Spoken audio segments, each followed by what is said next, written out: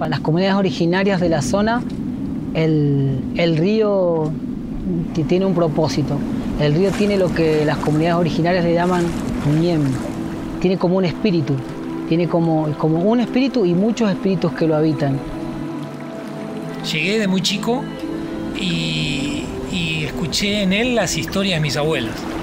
¿no? Cuando todavía no había luz, cuando mi abuelo se sentaba a la orilla del fuego y nos contaba la historia del río.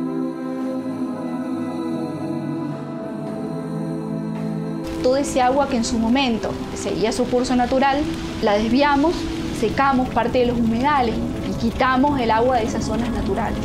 Es un impacto negativo. El ser humano estamos como conectados con el río, somos parte del río.